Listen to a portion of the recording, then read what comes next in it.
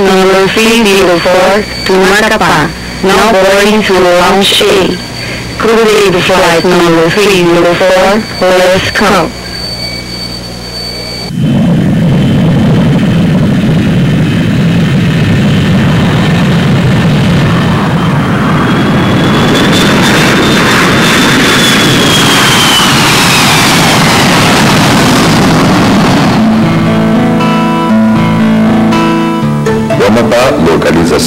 Norte da linha do Equador e faz parte da Amazônia Oriental.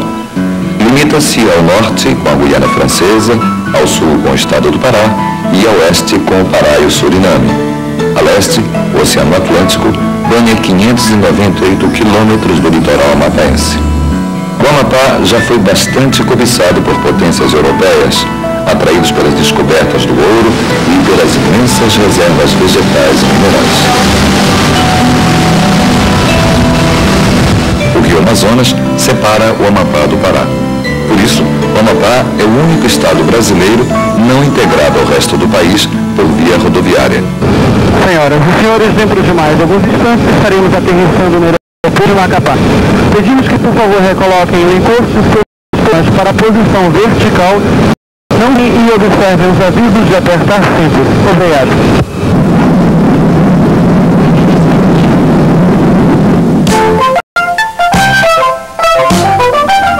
Poucas as cidades do mundo cortadas pela linha do Equador.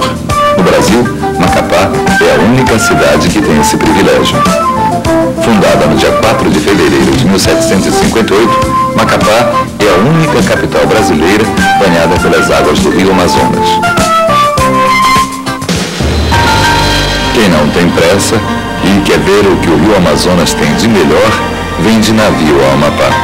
A viagem é simplesmente inesquecível.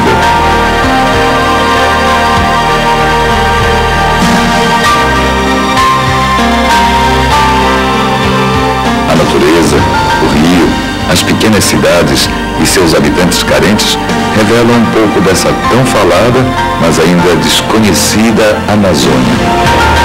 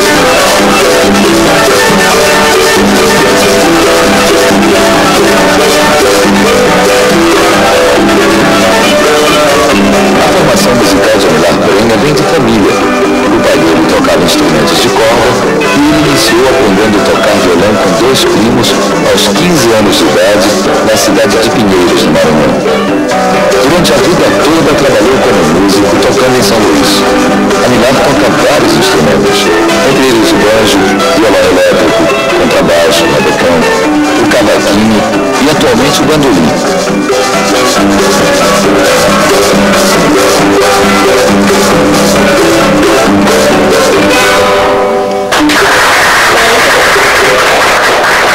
Eu conheci o Amilar lá em São Luís do Maranhão. Nas faixas que ele fazia, serestas que ele fazia lá. Eu, através de outros nomes da música, Luiz, eu conheci o Amilar. Agora, a nossa intimidade aconteceu no Circuíbis, viajando do estado do Maranhão para o estado do Pará. É o circo. O circo é muito bom. Né? Há lugares bons, bons mesmo. E há outros lugares também que não é muito bom, né? Às vezes até a gente passa fome, assim. Mas um lugar que a gente chega tem uma beleza. Eu me deu muito bem, porque tu sabe que é onde eu chego, né? Graças a Deus. Como é que você veio parar aqui em Macapá? Vim até Levantias. Na minha terra não estava muito bem, sabe? E procurei ligar e coisa não parar aqui. Graças a Deus. Das orquestras do circo, trouxe grandes experiências. Tudo isso emprestou aos seus dedos o conhecimento do cabo dos instrumentos e um grande amor pela música. Em Macapá, a Milar Brenha conheceu a nata da música mapaense. Tocou com quase todos os artistas famosos de Macapá.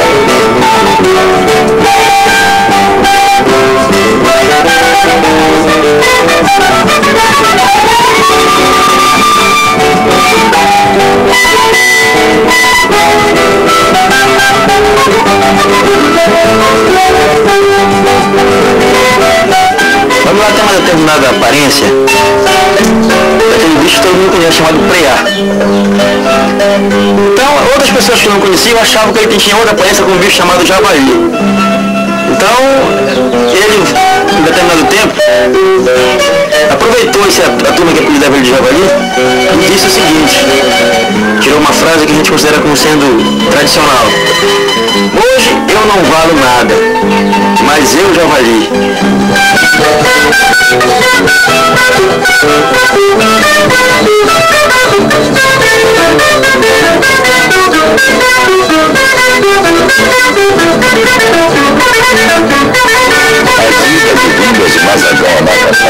Fizeram com que a Milar Brenha atravessasse muitos rios em sua vida.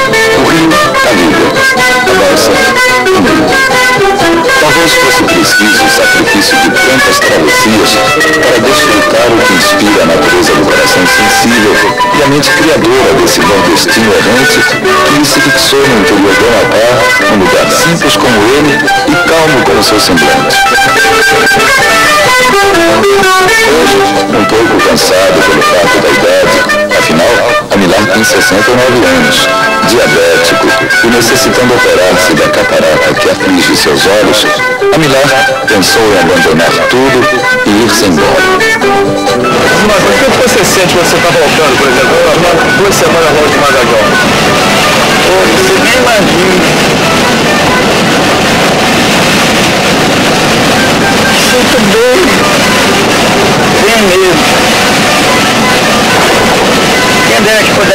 Logo. Mas me, me falaram que você estava pretendendo ir embora. né? Embora, é. Pra Amapá. É porque eu me senti doente, né? E fiquei num estado meio ruim. Um dia eu acordei com as pernas inchadas e a vista, oh meu Deus, o que, que eu faço? Peguei e me deliberei mesmo. Decidi, digo, vamos embora. A Milar, você mora quanto tempo em Mazagão? Faz uns 20 anos mais ou menos. Cristiano, me diz uma coisa, essas tuas andanças, você tem feito muita viagem para Mazagão. É, muita viagem. É verdade que uma dessas suas andanças originou uma música do Chorim? É, Rama na cara foi o seguinte, nós vamos fazer uma viagem, para Caçoeira, uma época dessa, de inverno. Então, determinado trecho da estrada, o carro atolou, atolado.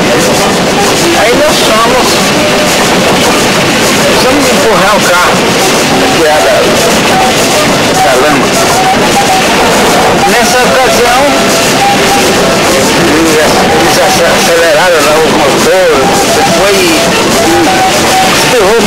muita lama. E nem foi que mais lama. Pelo ouvido, pelo nariz, tudo. Eu fiquei mesmo em estado. Aí eu fui tomar um banho, tinha um riozinho, tomar um banho, tudo. Aí a turma começaram a dizer, Milão, faz um choro, lama na cara.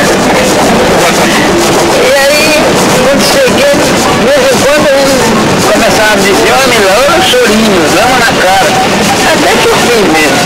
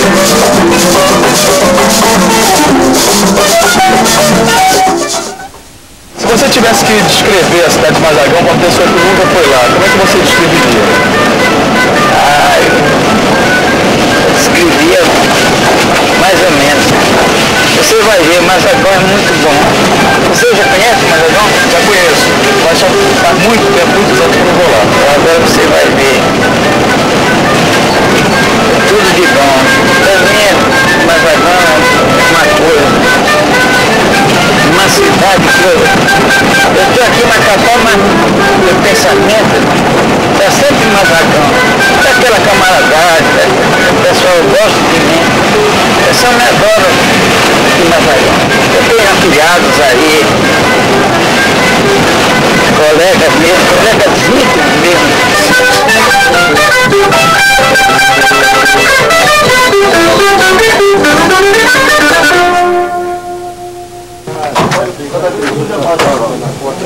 Descanse, rapaz.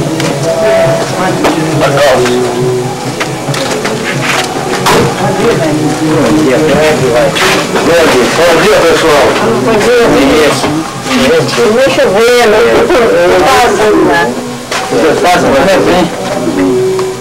Como compositor, esse músico maravilhoso nada deve a Valdir Azevedo ou a genialidade nacional do bandolim que foi o saudoso Jacó. Aliás, as obras desses artistas são executadas com singular beleza familiar, antes de fazer arranjos, montando, desmontando, vestindo ou picotando o som de cada uma delas.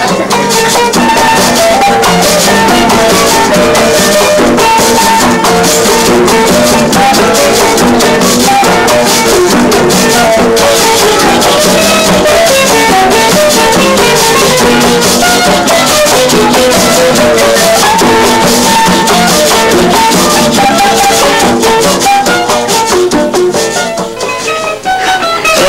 tem sido muito grande de tocar com a Milá. Já que a Milá também todo fim de semana ele vai para Macapá, colabora com a gente, todo fim de semana te dá uma brincada junto. E existe um momento que quase a Milá vai embora. O que você sentiu? Inclusive a decisão de, de, de ir embora, ele me comunicou uma sexta-feira à tarde, via telefone, quando eu estava esperando ele para tocar em Macapá. Umas contas lá, não sei quanto. Eu fiquei nervoso, porque eu nem dei conta de fazer mais as contas. Essa que foi a verdade. Essas mesmas pessoas, amigas deles que o pressionaram a ir, resolveram tomar algumas providências no sentido de fazer com que ele fizesse um tratamento de saúde.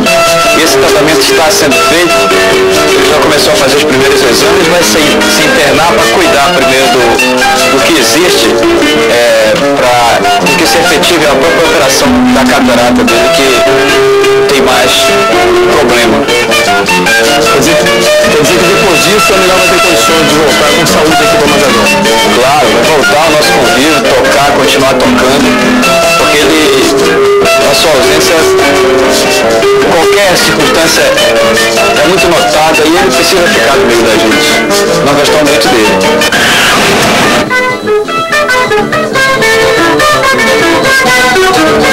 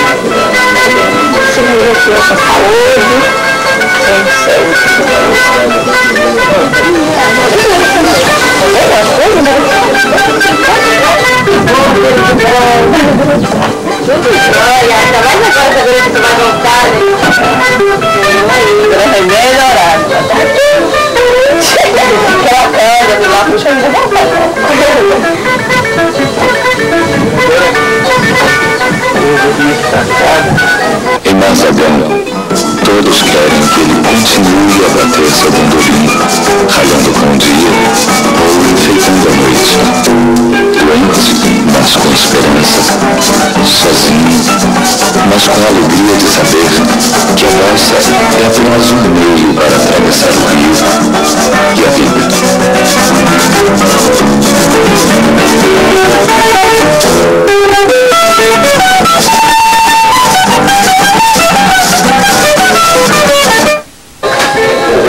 Eu vou morrer aqui, Marcelo.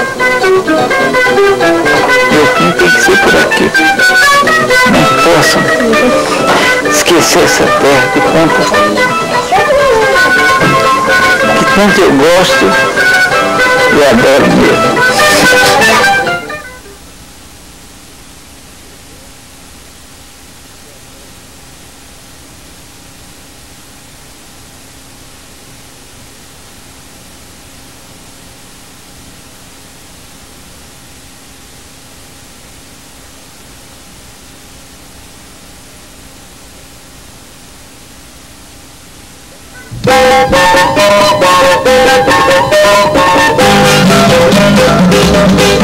Thank